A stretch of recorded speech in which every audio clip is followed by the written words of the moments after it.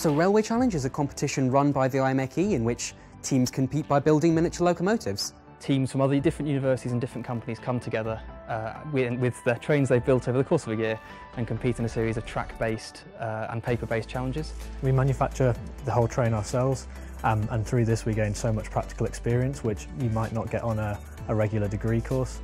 For me, I wanted to be involved in an engineering team outside of my degree, just to see what else I could learn outside of lectures and not just the theoretical things. Um, I really wanted to get involved in getting hands-on, in just seeing something through from concept through to manufacturing and actually seeing something work. Uh, the big thing with the Sheffield team is it's completely extracurricular. Uh, there is no marks for this, no one's getting paid to do it, it's all done for fun and for the interest of the, of the subject. So RCAS has offered me uh, many skills which have helped directly to get a job essentially. So pre presenting skills, um, teamwork skills that you might need to apply at assessment centres and just generally something to talk about um, with any prospective employees. They're usually quite interested. You learn a lot of confidence in, in like presenting your work to other people, in like pitching your ideas, looking into like finding the the funding for it and looking at sponsors and things like that, you learn a lot of skills that you otherwise wouldn't get on your course, um, especially in terms of looking at like the report writing because we have to submit it to the Institute of Mechanical Engineers. We have to sort of write it to such a high standard that we are competing with like graduate engineers and so it really does pull your pull all your other skills up and sort of in line with what other people are doing professionally.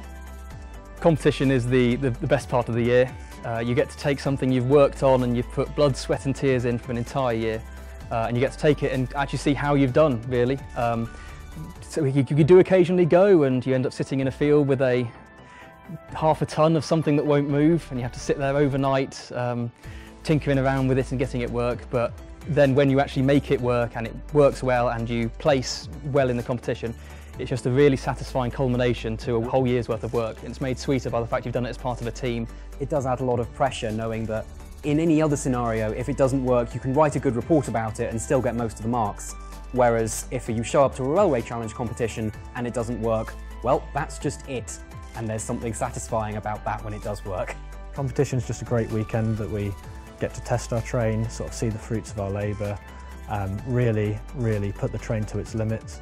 And that is, I think, one thing in RCAS, you know, you don't know where the problem is going to come from. It will just show up and uh, you have to find a way of you know, figuring it out, solving it. And I think that is one thing that would be very useful, especially with what I want to do.